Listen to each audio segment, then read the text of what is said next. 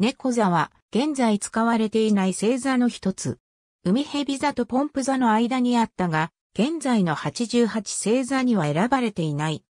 ボーデの星図に描かれた猫座1799年にジェローム・ラランドが考案し、1801年にヨハン・ボーデの星図、裏のグラフィアに初めて描かれた。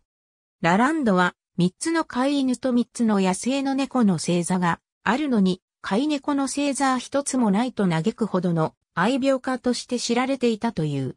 ラランドはクロード・アントワーヌ・ギヨ・デゼルビエの死に触発されて、自分の猫を天空に加えることとしたとしていた。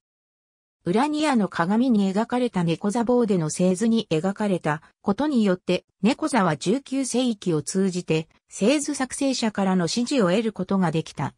アレクサンダー・ジェイミソンは1822年に刊行した Celestial Atlas の中で猫座を描いた。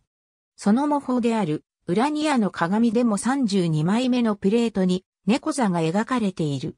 1878年に刊行されたサイモン・ニューカムの Popular Astronomy にも猫座の姿が見られる。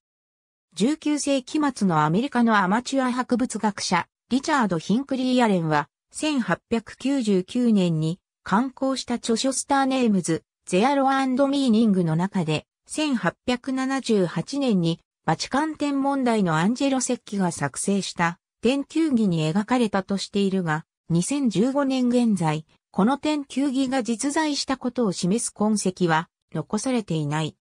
1888年に刊行されたエリザ・A・ボーウェンの Astronomy by Observation に描かれたのを最後に一般的な星図から姿を消しており、1922年に現行の88星座が定められた際にも選ばれることはなかった。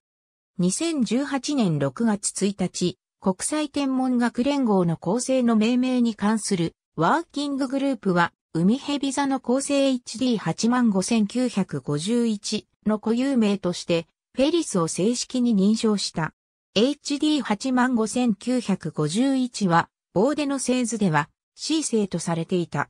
ありがとうございます。